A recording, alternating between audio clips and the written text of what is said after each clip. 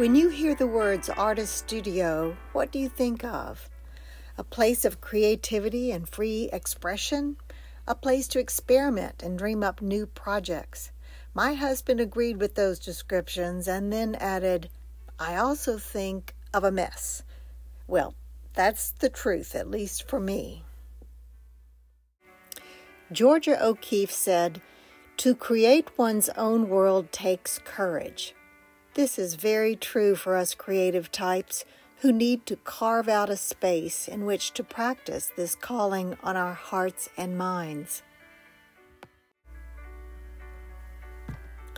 Having a dedicated workspace like these well known artists is indeed a privilege. Let's look at a few. John Singer Sargent trained in Paris and ended up painting all over the world. Claude Monet had a studio in Giverny, France, but really preferred painting out of doors whenever possible. And Frida Kahlo, who had polio as a child and was in a terrible auto accident, painted from her bed at one point using a special easel.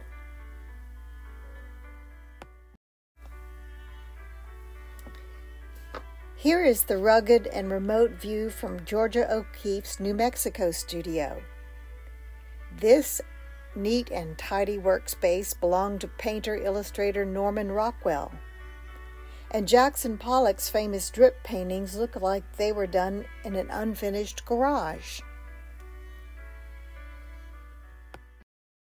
Louisiana folk artist Clementine Hunter never did use an easel. In fact, art dealers learned to look for her fingerprints and paint on the back of edges. Chuck Close did his massive scale abstract portraits while working from a wheelchair. And one of my favorite local artists is Arthur Price, who works alone in a barn out on his farm.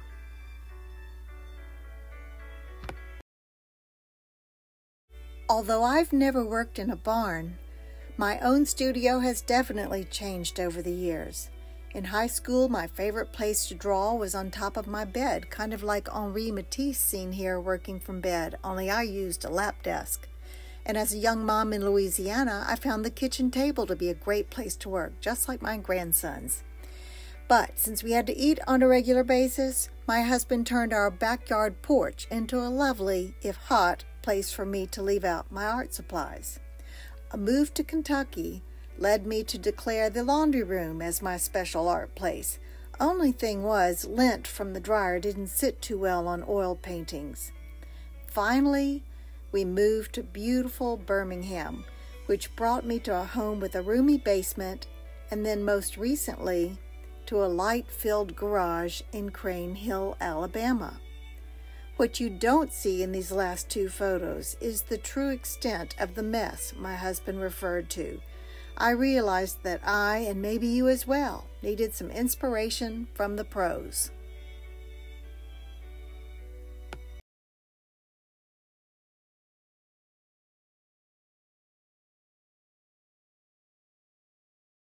Inspiration. If you have knowledge, let others light their candles in it. I found three local professional artists who generously shared with me some of their favorite things about where they work.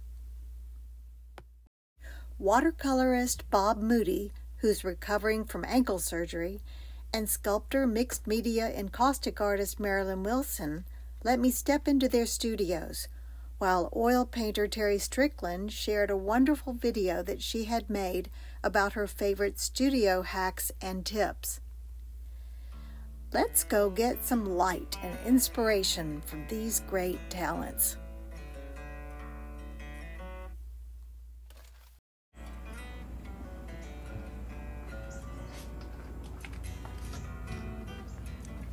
Hi Gayle, welcome to my studio. I'm Bob Moody. This is English Village. That is my uh, Japanese maple tree we planted 37 years ago outside my studio, which is a wonderful view. It's almost filling up that space. And of course, I've got my music system, uh, reference material, uh, then a sink, and my palette and brushes, and that's all it takes in watercolor.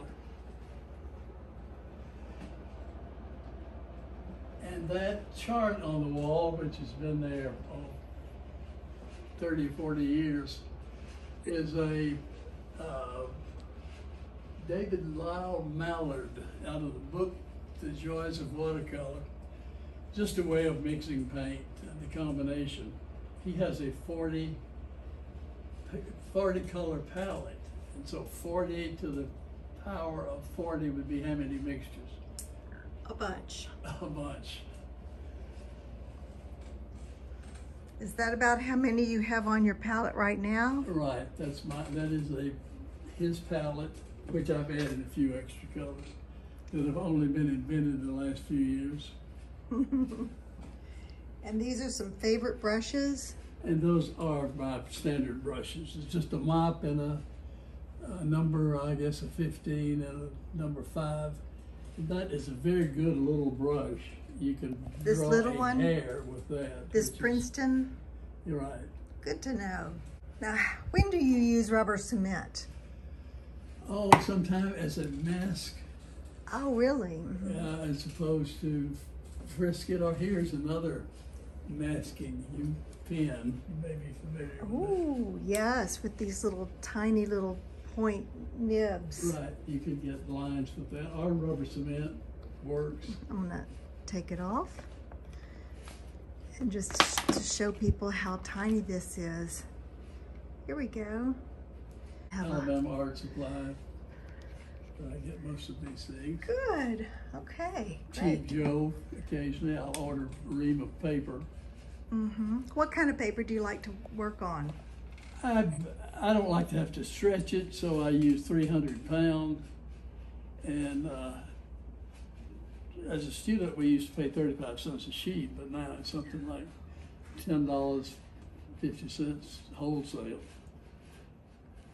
Just last week, I got the proofs on our latest book, which are paintings of 30A in uh, the Panhandle, Florida which is about 28 mile strip off Highway 98.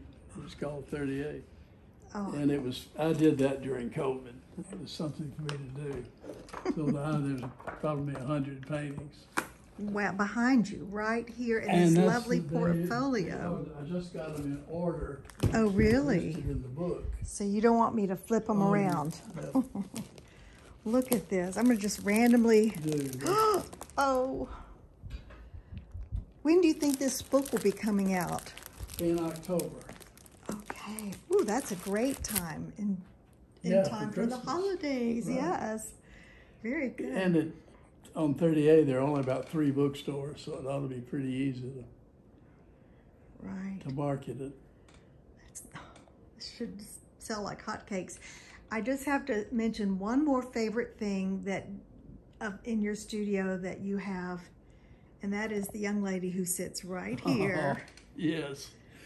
That's my techie, my wife, my everything.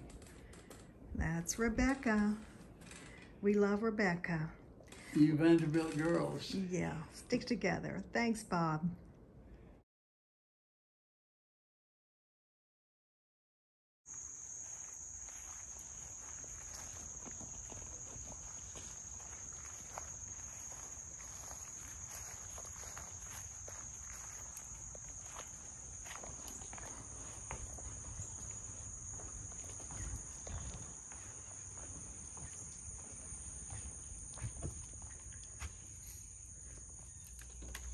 Welcome to my studio. Come in and let me show you what I do. My name is Maralyn Wilson from Birmingham, Alabama, and this is my studio.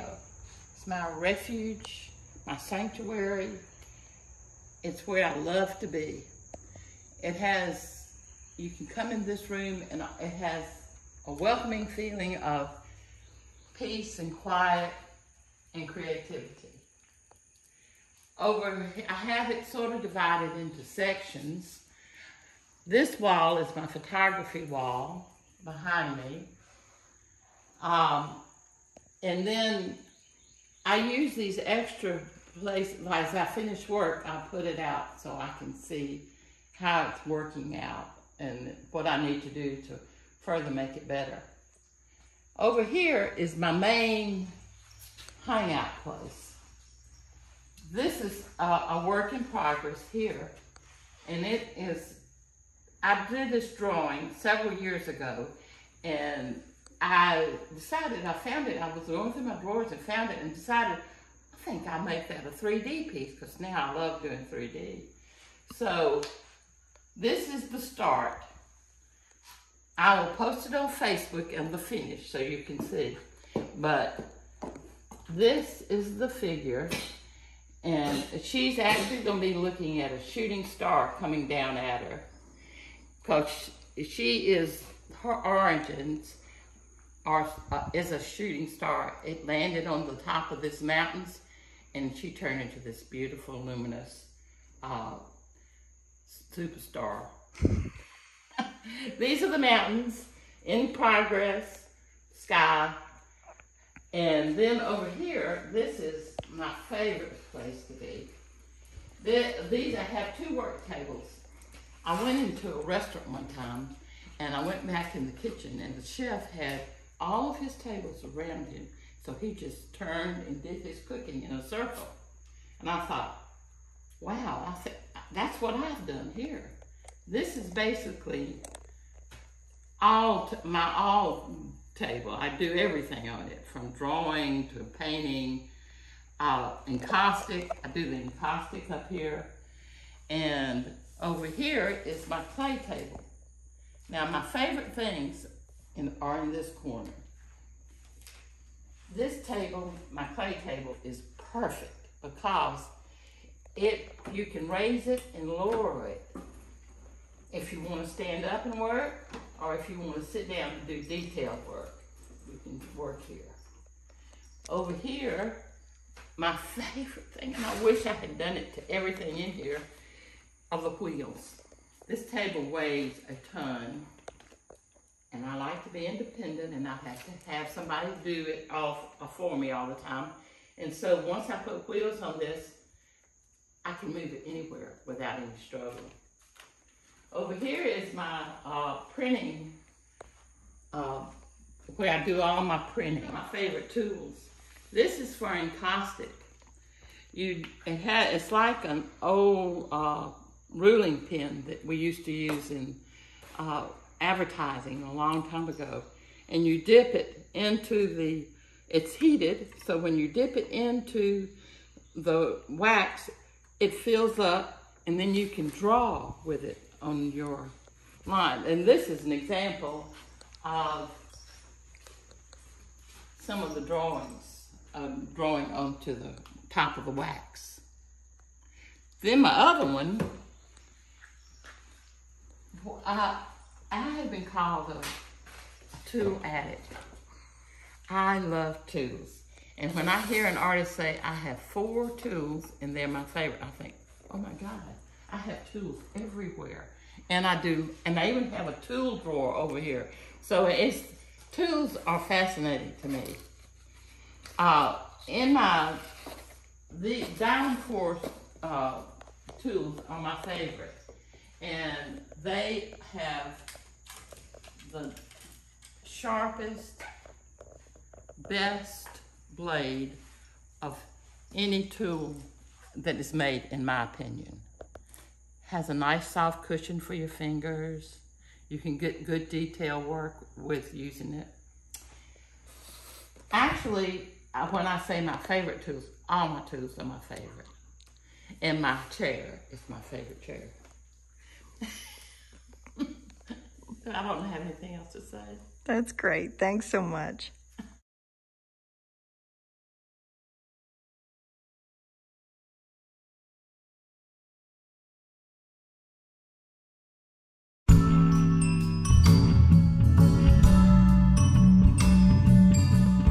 Welcome to Studio Hacks 101.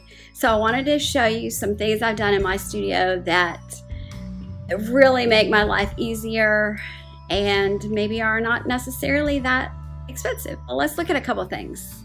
This is the latest addition to my studio and it's a Yukon rolling tool chest. And we got it at uh, Harbor Freight, similar to like a DeWalt or Black & Decker tool chest um, but it's a little bit cheaper, maybe just because it's an off brand. But it's got amazing drawers.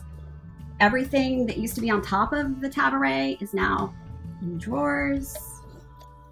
And it's so awesome because they're right here on my side of the easel. And I can just, um, you know, get to them while I'm painting without having to get up and down. The other thing I really love is that I found this um, cookie sheet. It's a some Teflon cookie sheet that I was trying to find a way to not have the beautiful wood surface get all yucky from all my solvents and oils and stuff. And so I have this little cookie sheet. I put rubber feet on the bottom so it doesn't slide around. Uh, and then I just keep all the messy stuff on here. And then that way, whenever I want to um, use the surface for a project, I can just move the cookie sheet and then I have this nice, beautiful surface to, um, you know, lay out a painting that needs to be framed, or I can put something out on it and use it for filming. And uh, it's just it's just great. I love it. I also got these. Um, you can add things to it. So there's magnetic hooks. I've got a magnetic paper towel holder. So you know, like that. A couple of hooks on the back, so I have, can always find my tape measure. Put my visors on it, and um, yeah, it's great. I love it. It replaces my old taboret that was a microwave cart I had picked up at a thrift store ages ago for about $25. I had reinforced it over the years and added the paper towel holder, but as you can see, it was very small and the top was always just full of stuff.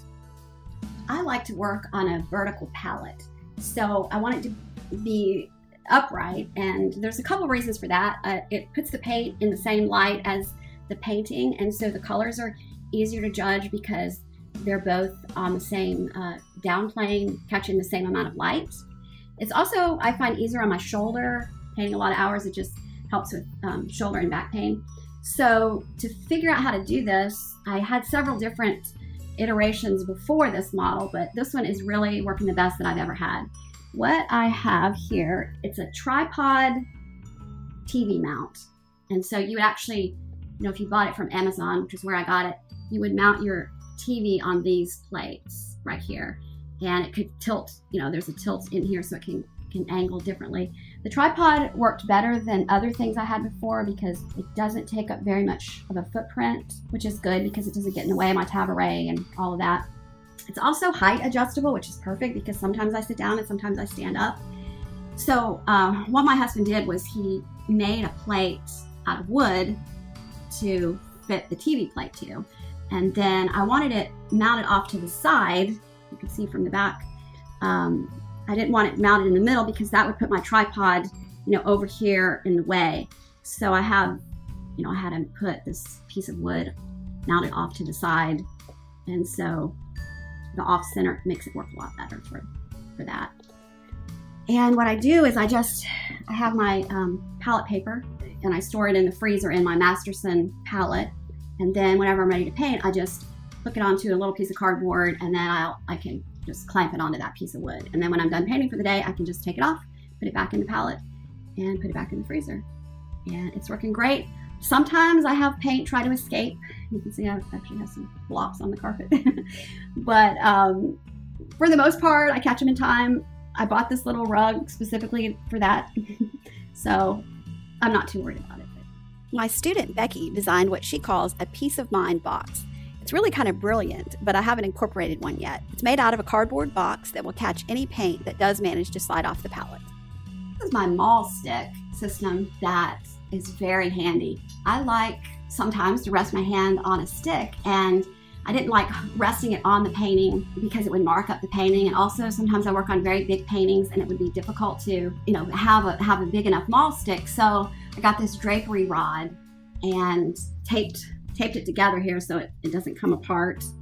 And then I could prop that on on the top edge of the painting. I did that for a little while, but then I didn't really like that because you know it could still mark the edge of the painting. So we put this um, one by four up here and then to keep it from falling off the edges when I would let it go, because sometimes I don't want to use it, right? So I would just leave it laying on the one by four and it would fall off and crash into stuff and it was kind of a big disaster. So uh, we figured out to put wine corks on the end. And so now when I'm not using it, I can just prop it out to the side like that. And it works pretty good. And it's actually clamped to the back of the easel. You can see it right there. It's just got a little bent piece of metal that we screwed to the one by four. And so I can move that up and down if I need to, but I don't really need to because it works for a small painting like the one that's on my easel right now, or for a bigger one. This is my painting stool. It, it specifically is made for painting and um, I love it. It probably was a bit of a splurge at the time when I bought it, but I've had it probably, I don't know, 10, 12 years, probably at least. But it's great because it, it angles so you can tilt it forward or back and it, and it goes up and down and it's on rollers. So for the times I'm sitting when I paint, it's just it's just so convenient and way more comfortable than anything I've, else I've ever sat on. So uh, to me, it was a worthwhile investment and it has actually lasted a really long time. I have an anti-fatigue mat, which is not anything special, but I found that if I'm going to be in here for hours at a time, most days, even with the carpet, it was just so much easier to have this anti-fatigue mat, and uh, I really believe in it. I can turn it different ways, you know, depending on what, what painting I'm working on. So that's a great thing to have. These are IKEA picture ledges, and they were an investment that I made maybe last year, I would say. Uh, when I was trying to get more organized in the studio, and they are fantastic. I love them so much. I can put sketches or paintings on them, small ones, whenever they need to dry, you know, or just to store them when I, I don't exactly know what, what I'm going to do with them yet. But I've got them all on this wall, and I also have them on this wall up high. So that really has stored a lot of my smaller paintings. It just saves up so much working space for other tables that, that I have in the studio. So it allows my table space to be active space that I can get to when I need it. This is something that I don't know if you can get hold of, but if you can, I really enjoy having it in my studio. Forstall Art Center in downtown Birmingham was getting rid of one of these paint cabinets and asked me if I wanted it. So this is where I store all of my Rembrandt paints. And it's, it's really nice to keep it organized and I only keep one tube out of all of the different colors that I use, and that's in my taboret. So then this is where I can really see my inventory well and um, come here when I'm looking for different um, colors that I have in stock.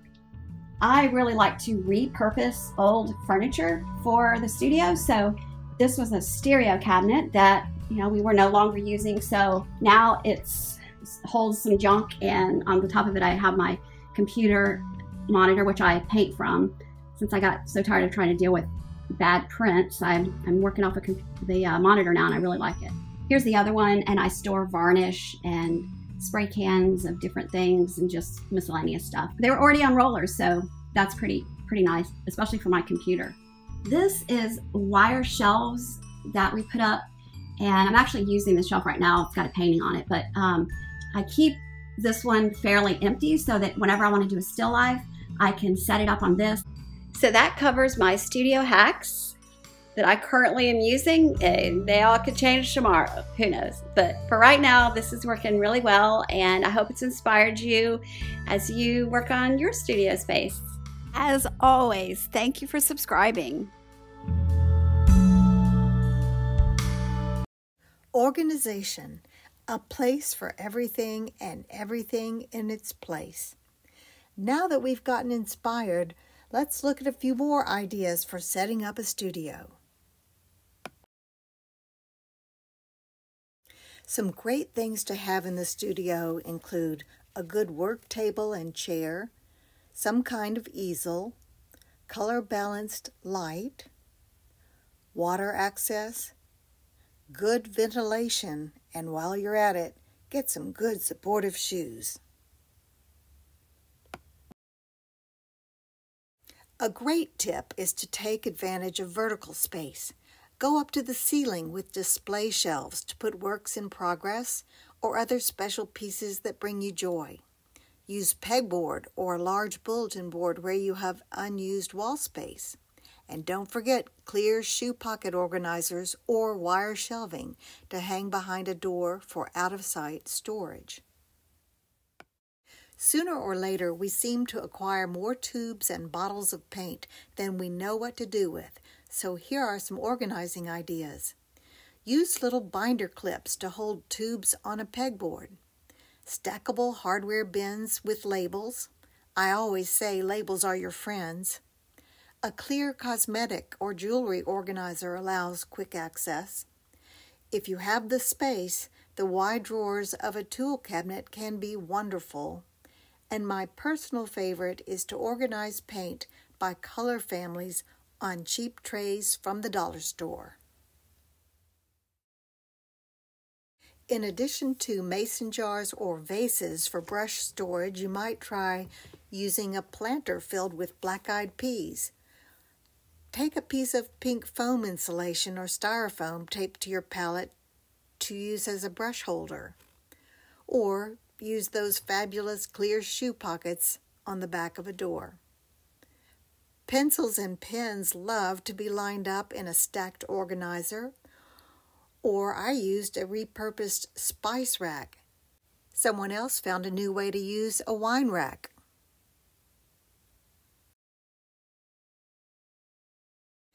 If your canvas or paint panels get stacked up, you can sort them out with wood shelving or with wire shelving like this on the right where they used string to keep them separated. I needed a way to keep big sheets of mat board and foam core sitting vertically and up off the floor, so I repurposed an unused side table, turning it upside down. Voila! I've always longed for some beautiful flat files like those in Bob Moody's studio for storing full sheets of watercolor, but they can be pricey. Then one day I found this IKEA hack using multiple tabletops with extra legs works like a charm and for a fraction of the cost. Finally, a few more things that are nice to have furniture on wheels or rollers. If vintage is your thing, try using a suitcase to store old sketchbooks or use a vintage trash can for a splash of color. Repurpose furniture whenever you can. Notice I'm using the bottom drawer as vertical storage for some paint panels. If you have room, a comfy chair or sofa make a great place to sit and think on your next project. Finally, a great addition and good company is a studio pet like Zoe.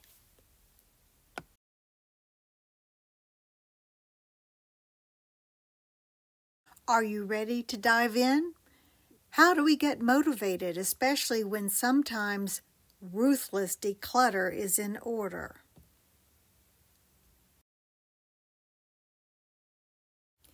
Ask yourself do I just need to tidy up or do a deep clean and declutter?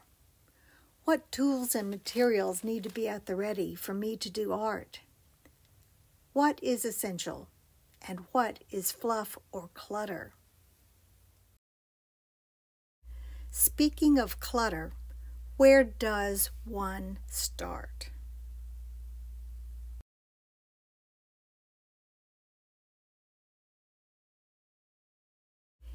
Here is what works for me. Once I decide to do this, I set aside a couple of days. It didn't get like this overnight, so I know it will take a bit of time to fix. I start in one corner and work from left to right. Remember this corner, you'll see it again. If it's really overwhelming, I'll set a timer for 15 or 30 minutes and take periodic breaks. If something distracts me, and it usually does, I'll write down the distracting thought and park it to the side and tend to it later. The great thing about working in one direction around a room is that it helps me see progress and it keeps me going. Put like things together even if you have to set up a temporary card table to help sort things out. These see through shoe boxes with built in lids have changed my life. Once again, labels are your friends. Remove the non essentials. Here's the rest of that corner. Why, for instance, is my phone number stuck to the side of this table? Do I really need to see that every day? Shop your house for things you can use in a new way, like a rug or an empty piece of furniture. And finally, once you've cleared out a section, give it a good clean. Who knows when it will next see the light of day? Get some music. It's easier than ever to grab a Bluetooth speaker, your phone, and bring your favorite music into your space. Put a to get list by the door of your studio so you can consolidate errands the next time you go out. Smell something good like an oil diffuser or a nice candle, but maybe not with solvents around. An electric kettle for tea or coffee make it easier for me to stay in my studio and keep working treat your feet to an anti-fatigue mat and allow some clean empty surfaces to stay clean and empty for a while. Once we get our space like we want it, we need to be motivated to get in there and do the work of an artist. So here are a few encouraging words from David Nichols. And then lastly, you must find your own voice. Ultimately, you have to be expressed on that canvas or paper. That's what really matters. You have to paint from your heart. Um, otherwise, you'll just be a poor copy of someone else, which is not the ultimate goal. So, find your own voice, paint from your heart. That will automatically occur the more you paint. Your personality and your your idiosyncrasies, your uniqueness will all come out. You can't help that. And it will certainly serve you very well because people will recognize what you do and, and be attracted to it, I'm sure. So good luck with that, and uh, I hope you have a good rest of the day. Thank you.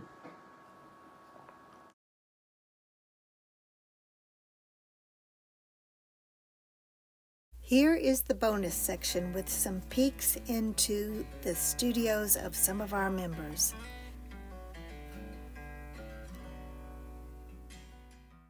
So that you know I'm trying to practice what I'm preaching, here are the first two walls before and after of my studio.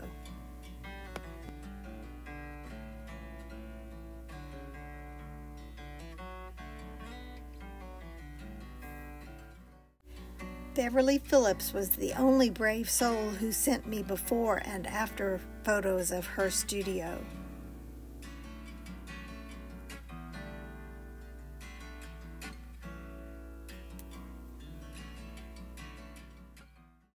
Martha Fulgham is full of great organizational ideas.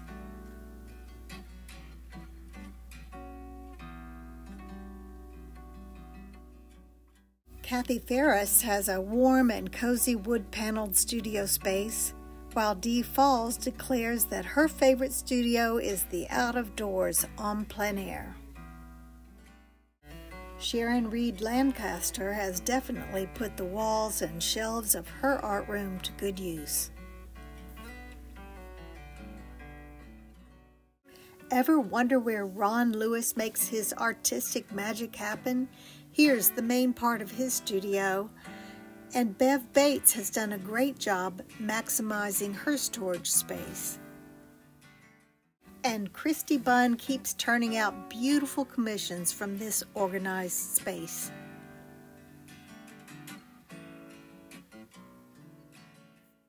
Are you ready? Let's do this.